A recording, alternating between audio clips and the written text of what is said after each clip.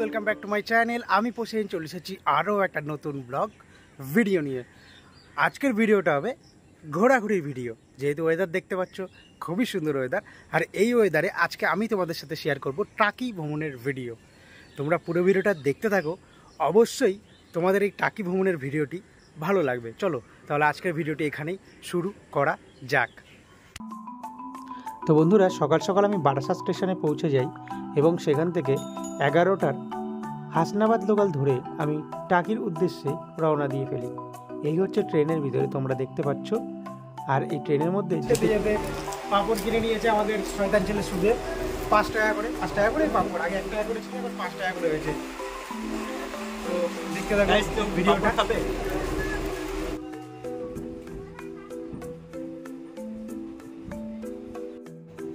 পাঁপড় খেতে খেতে কখন যে আমরা টাকি স্টেশনে পৌঁছে গেলাম বুঝতেই পারলাম না।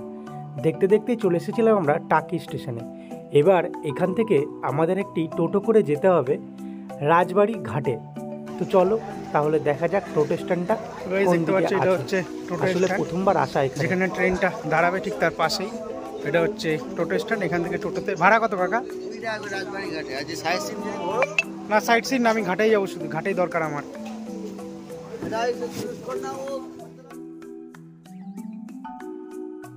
ওই জায়গায় কেউ যদি এখানে সাইট সিন করে কটা স্পট আছে? পনেরো পনেরোটা। টোটো রিজার্ভ করলে কত করে পড়ে ভাড়া?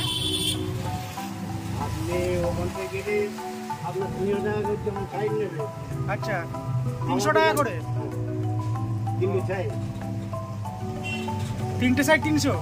না একটা সাইড তিনশো ও আচ্ছা আচ্ছা আচ্ছা। একটা সাইড তিনশো করে একটা সাইডে কটা করে থাকে স্পট দেখতে দেখতেই আমরা দশ মিনিটের মধ্যেই পৌঁছে গেলাম রাজবাড়ি ঘাট এই রাজবাড়ি ঘাটই কিন্তু টাকি ভ্রমণের মেন জায়গা বলতে পারো।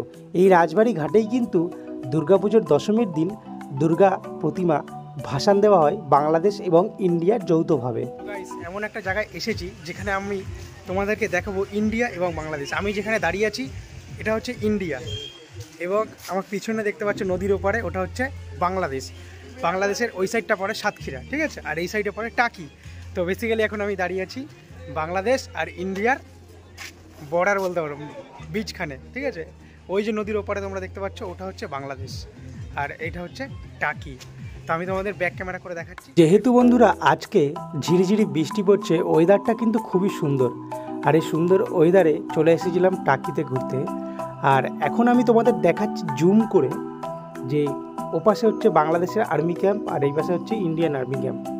আর দুর্গাপুজোর সময় এই টাকি রাজবাড়ি ঘাট থেকেই দুর্গাপুজোর ভাসান দেওয়া হয় এবং এখানে প্রচুর পরিমাণে ভিড় হয় ভাসান দেখার জন্য। আর ভাসানের সময় প্রত্যেক কোটি টলারের উপরে পতাকা লাগানো থাকে, যেমন ইন্ডিয়ার পতাকা এবং বাংলাদেশের নৌকায় বাংলাদেশের পতাকা। তোমরা দেখতে পাচ্ছ সামনে একটি ট্রলার আসছে, যেটিতে ইন্ডিয়ার পতাকা লাগানো।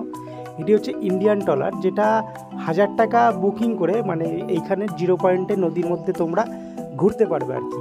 নদীতে তোমরা ট্রলার নিয়ে ঘুরতে পারবে। আর বন্ধুরা, এই ইচ্ছামতি নদীর পাশে ঠিক এরকম সারি সারি বেঞ্চ আছে, যেখানে তোমরা বিকেলে বসে ভালোভাবে সময় কাটাতে পারবে মানে টাইম এক্সপেন্ড করতে পারবে। আর আমি এখানে একটি মাছ দেখতে পারলাম, যেটা এই নদী থেকে ধরেছিলেন একজন, আমাকে বলল ভিডিও বানাতে, যার কারণে আমি বানালাম। তো বেসিক্যালি এই হচ্ছে নদীর পাড়, যেখানে বসে খুবই ভালোভাবে টাইম এক্সপেন্ড করা যায়। শীতকালে তো বাহ, খুবই সুন্দর লাগে। যেহেতু আজকে বর্ষা হচ্ছে, বৃষ্টি হচ্ছে, আর তোমরা যদি এই টাকিতে থাকতে চাও, তারও কিন্তু ব্যবস্থা আছে। এই পার্কের পাশেই বিভিন্ন ধরনের হোটেল আছে, যেখানে তোমরা স্টে করতে পারবে। এবার আমি তোমাদের বলে দিই, এই টাকিতে তোমরা আসবে কি করে? তোমরা যদি টাকি ভ্রমণে আসতে চাও, একদিনের ট্যুর করতে চাও অথবা দুদিনের, তাহলে তোমাদের শিয়ালদা থেকে হাসনাবাদ লোকাল ধরতে হবে। যার টিকিট মূল্য হচ্ছে কুড়ি টাকা। হাসনাবাদ লোকাল ধরে ঠিক হাসনাবাদের আগের স্টেশন পড়বে টাকি রোড টাকি রোডে নেমে তোমরা এখানে আসতে পারবে। এই টাকি জায়গাটি কিন্তু খুবই সুন্দর। একবার হলেও এই টাকিতে তোমরা ঘুরে যেও। এখানে বেশি আছে শীতকালে। শীতকালে পর্যটকদের ভিড় এই টাকিতে অনেকটাই বেশি হয়। আর এইগুলো হচ্ছে হোটেল। তোমরা যদি এখানে এসে থাকতে পারো মানে থাকতে চাও আর কি তাহলে তোমরা এই হোটেল দেখতে পারো এসে। এই নদীর পাশেই মানে এই যেই পার্কটি তোমাদের আমি দেখালাম, এই পাশেই বিভিন্ন ধরনের পিকনিক স্পট এবং হোটেল আছে, যেখানে তোমরা স্টে করতে পারো। তো আমরা যাচ্ছিলাম অভয়ারণ্যের দিকে, গোলপাতা অভয়ারণ্য বা ফরেস্ট বলতে পারো, তো সেখানে। তার জন্য আমরা প্রথমে ভ্যান অথবা টোটো রিজার্ভ করে নেব। আর এখানে বিভিন্ন ধরনের হোটেল আছে মানে খাওয়ার ব্যবস্থা এখানে আছে। যেখানে তোমরা পরোটা থেকে মানে রুটি থেকে, ভাত সব কিছু তোমরা এই হোটেলে পেয়ে যাবে। চলো তাহলে যাওয়া যাক সাইট সিনের দিকে। তো বন্ধুরা সাইট আমরা যেহেতু সাইট সিনের একটা স্পট বেছে নিয়েছি, যেখানে গোলপাতা অভয়ারণ্য আছে, মিনি সুন্দরবন। তো আমরা এই কাকার ভ্যানে উঠে পড়েছি, মাত্র দেড়শো টাকা দিয়ে ভাড়া করে, ঠিক আছে? যদি তোমরা টোটোতে করে ঘুরতে চাও, তাহলে টোটোতে করে যদি তোমরা ঘোরো, তাহলে তোমাদের তিনশো টাকা করে পড়বে, ঠিক আছে? যদি তোমরা ভ্যানে ঘোরো ভ্যানে ঘুরলে তোমাদের একটু কমের মধ্যে হবে। যাবা আসা পঞ্চাশ টাকা করে পড়বে। হ্যাঁ। পাঁচটা স্পট যাওয়া আসা পঞ্চাশ টাকা করে পড়বে। টাকা কি বলে দাও? হ্যাঁ যাবা আসা পঞ্চাশ। হ্যাঁ পাঁচটা স্পট আছে। সুন্দরবন গোলপাতা জঙ্গল হ্যাঁ পাঁচটা স্পট আছে। বন্ধুরা দেখতে পাচ্ছ এটা হচ্ছে টাকি জোড়া শিব মন্দির। রাজবাড়ির জোড়া শিব মন্দির। এটা হচ্ছে প্রথম স্পট আমাদের। আচ্ছা।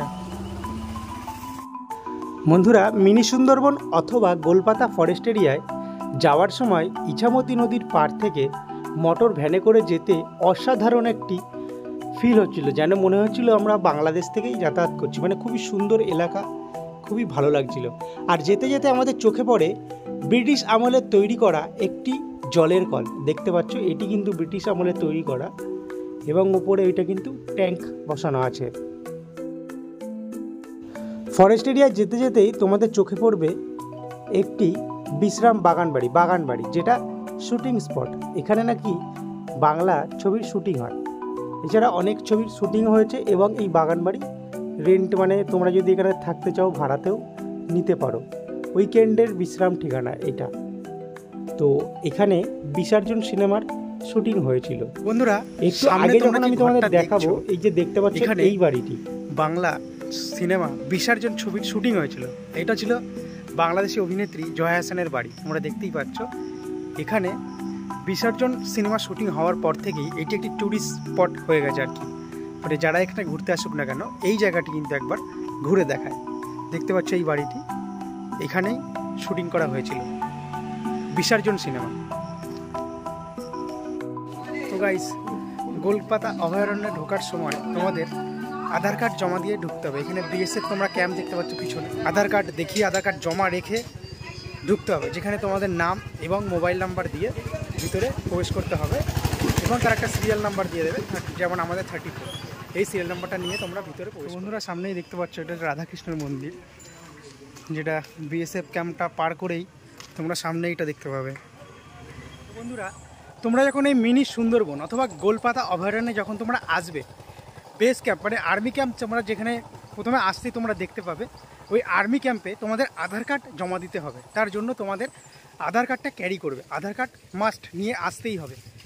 আধার কার্ড নিয়ে এসে সেখানে জমা দিয়ে তোমাদের এই অভয়ারণ্যে যেতে হবে। তো বেসিক্যালি এখান থেকে ভ্যানেও যাওয়া যায় দশ টাকা দিয়ে ভাড়া। তো যেহেতু পাঁচ মিনিটের হাঁটা পথ, তার জন্যই আমরা দুজন হেঁটে হেঁটে চলেছি। ঠিক আছে? তো এই গ্রামের পথ দিয়ে মানে প্রায় বাংলাদেশি এটা বলতে পারো তো পেরায় না, পুরোটাই বাংলাদেশ। মানে আমি আছি এখন ইন্ডিয়াতে, কিন্তু নদীর, ইছামতি নদীর ওপাশে বাংলাদেশ। তো বেসিক্যালি খুব ভালোই লাগছে, আর ব্যথাও করছে পা, কি আর বলব।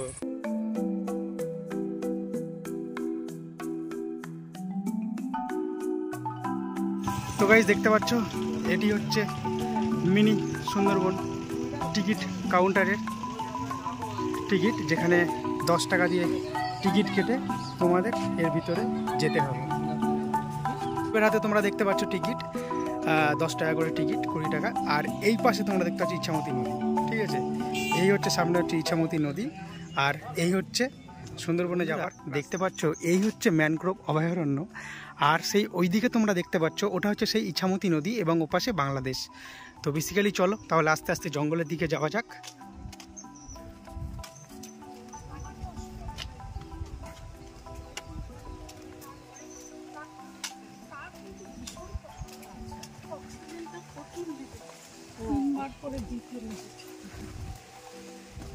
তো বন্ধুরা এই হচ্ছে জঙ্গল। এখানে বান লেখা আছে দেখতে পাচ্ছ? তো চলো আস্তে আস্তে যাওয়া যাক।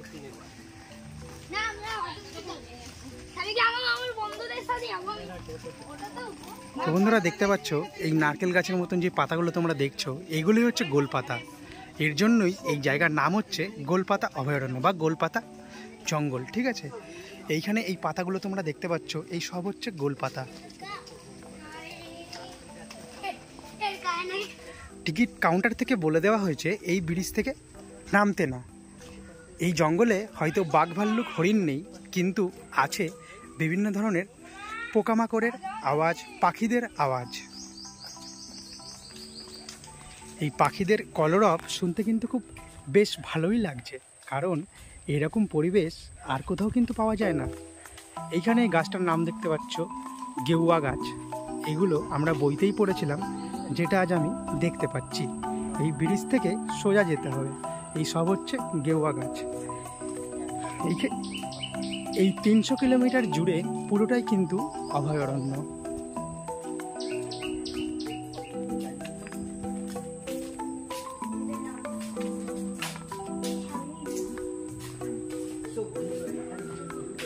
দিকটা আছে টাওয়ার সাইড। এখানে একটা টাওয়ার আছে।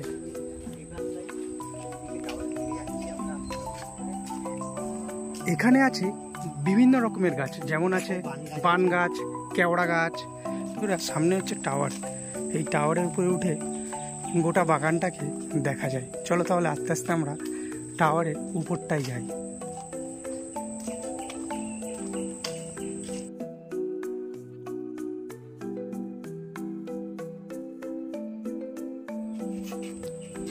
বন্ধুরা, এই ফরেস্ট এরিয়ার মাঝ বরাবর এরিয়াতে এই টাওয়ারটি অবস্থিত।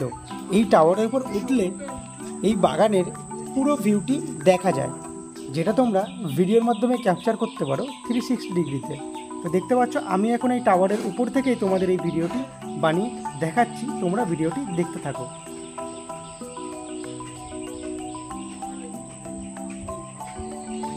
বন্ধুরা, এতক্ষণ আমরা ছিলাম এই মিনি সুন্দরবনের টাওয়ারের উপরে।